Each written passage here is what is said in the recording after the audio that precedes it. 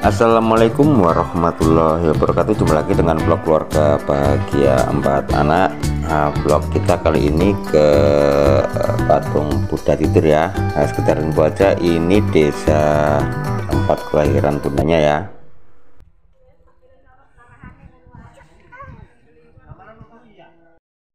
Dan untuk lokasi tempatnya eh, sama seperti eh, Candi Brau Desa Bejijong cuman jarak antara Candi Brau sama patung Buddha tidur eh, ke selatan lagi ya sekitar 3 km dan ini kita melewati Candi Brau. Sengaja emang saya bisa ya kawan untuk reviewnya biar saya bisa kasih uh, info ke teman-teman ya secara detail. Biar jadi referensi kawan-kawan semua terus intinya semua PRS gak rugi. Kalau ke wisata ke Candi Brau bisa juga sekalian nanti ini ke patung Buddha tidur. Dan sebelum kita lanjutkan saya cuman ngingetin ya ngiling nolur sing kurung subscribe tolonglah di subscribe ya ben uh, kita semangat uh, bikin konten bisa uh, ngasih informasi atau bisa menghibur dengan video-video terbaru nanti. Uh, dan buat teman-teman yang telah mendukung vlog keluarga bahagia empat anak semoga diberi kesehatan kelancaran kesuksesan dan amal ibadahnya uh, dilipat gandakan ya. Uh, dan ini kita udah sampai di pintu gerbang patung Buddha tidur ya. Dan untuk area parkir tadi cukup luas ya kawan ya agar masuk mobil motor. Dan ini info bukanya setengah 8 tutupnya jam 5 sore ya. Dan sekarang uh, bundanya mau beli tiket. Tiket masuknya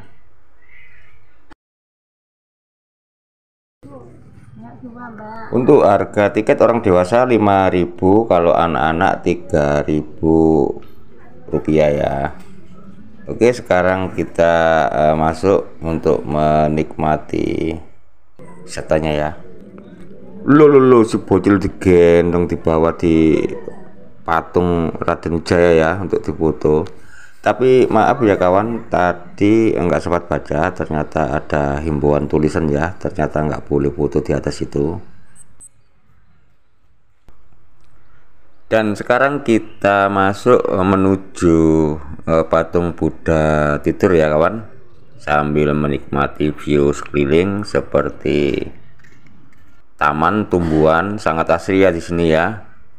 Dan ini ada patung walah lek masalah ini kak ngerti pren. Wong pelajaran matematika biar naik tambah-tambahan kurang-kurangan ke kurang ya makanya kayak kasbonan nih pren dan ini eh, sebuah pendapat ya. Kalau menurut informasinya sih ini eh, tempat ibadah oh, umat Buddha. Gak usah kaget friend. Bunda lagi seneng tiktok itu. Itu mungkin upload mau ya. Dan ini si bocil kepingin naik itu ya aja padahal kan nggak nggak boleh ada larangan ya. Eh, nggak boleh menaikin patung. Oh ya ini kan tempat ibadah uh, umat Buddha ya. Lo kak lidok kan ambil pose. Tapi gak rugi friend. Uh, view reliefnya ya sangat-sangat indah dan ya. Artistik sekali dengan warna kombinasi emas Masya Allah iling pun anak kacangnya lulus. Sebenarnya eh, kemarin kakak pertama sama kedua diajak tapi ada itu ya di rumah kakek neneknya ada acara jadi nggak ikut. Eh, jadi kita berdua aja. Bertiga maksudnya HCC bunda sama si bocil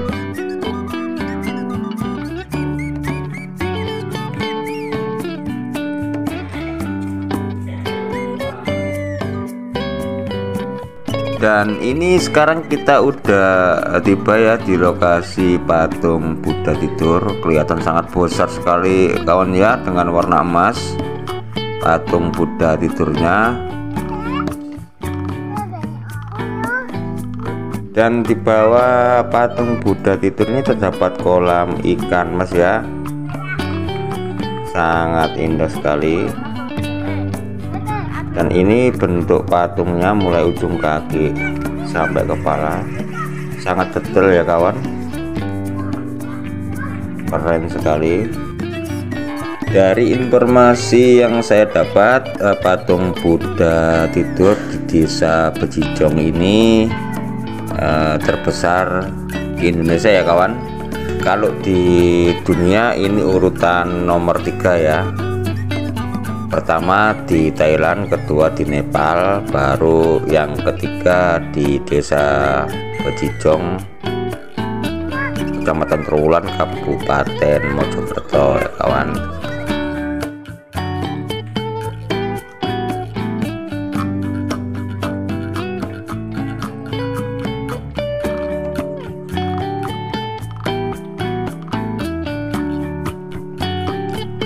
si bocil sama Cici kelihatan eh, menikmati ya sangat senang lihat eh, kolam yang penuh dengan ikan. Wah ke temen brand. Hmm di pangan pating kerumpul ngono.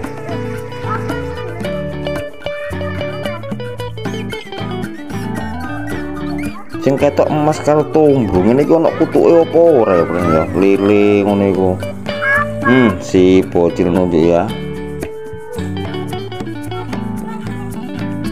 lo pating kerumpul lihat dikasih makan. Itu JJ-nya uh, minta uang bundanya ya. Kelihatannya kepingin kasih makan ikan.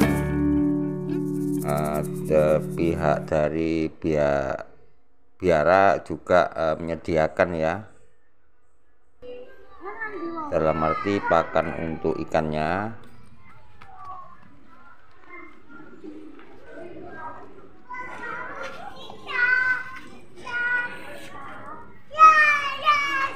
itu harganya 2000 sama 3000 ya kawan.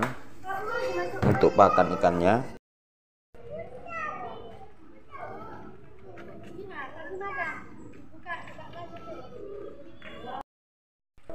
Tenan wapik banyak penataan eh, taman maupun kolam ya yang mengelilingi eh, sekitar area eh, lokasi Buddha tidur Gopren wis cocok banget lah wis pokoknya keluarga jak ini butuh-butuhan. Lo itu loh bundanya duduk di itu ya model eh, tanaman yang eh, dibentuk seperti daun waru ya atau love. Nah, ini juga kolamnya penuh dengan ikan mas ya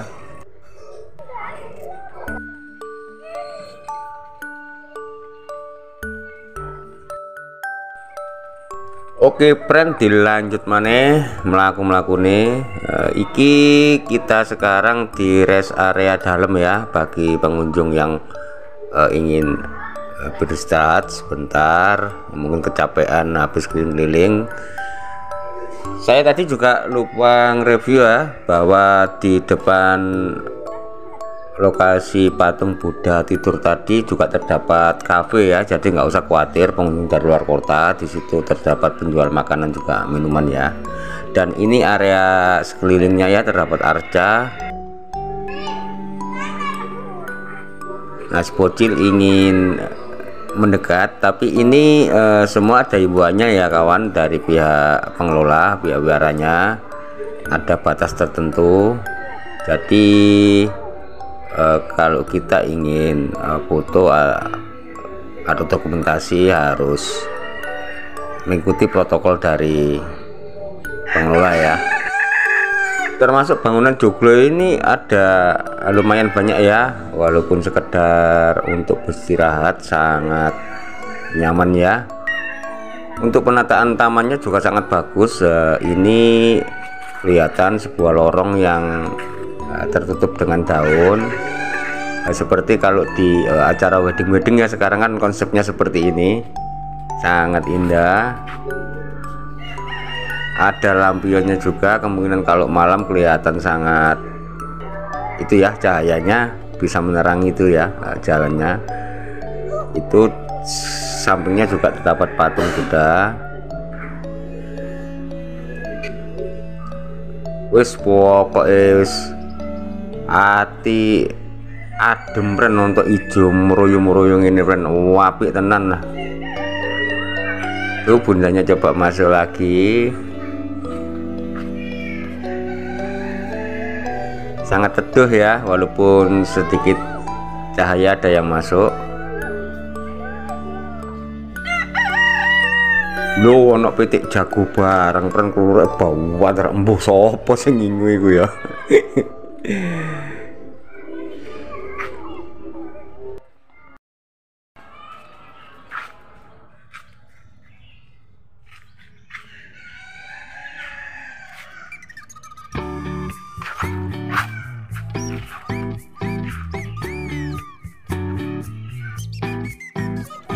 sekarang ini kita berada di uh, bangunan kolam seperti uh, sebelumnya terdapat banyak ikan dan ternyata ini uh, miniatur candi borobudur ya pen yo telawaten tenan yo nggak wae pating cerentil ngono ya. Mahati kuwi opo carane? Sekelilingnya juga terdapat ta taman. Uh, ini ternyata uh, waktu kita masuk tadi ya. Uh, jadi sekarang kita mau menuju pintu keluar sambil kita baca informasi ya. Oke kawan itu tadi sedikit ulasan dari vlog keluarga kami untuk wisata patung Buddha Litur yang di mana patung ini terbesar uh, di Indonesia ya. Dan bagi kawan-kawan semua yang dari luar kota nggak usah khawatir ya kalau ke daerah Kecamatan Terulan Kabupaten Mojokerto karena terdapat ya banyak wisata termasuk peninggalan Mojopahit lainnya. Dan bagi umat muslim juga terdapat wisata religi ya. Oke kawan terima kasih telah mengikuti vlog ini. Sampai jumpa di vlog selanjutnya. Wassalamualaikum warahmatullahi wabarakatuh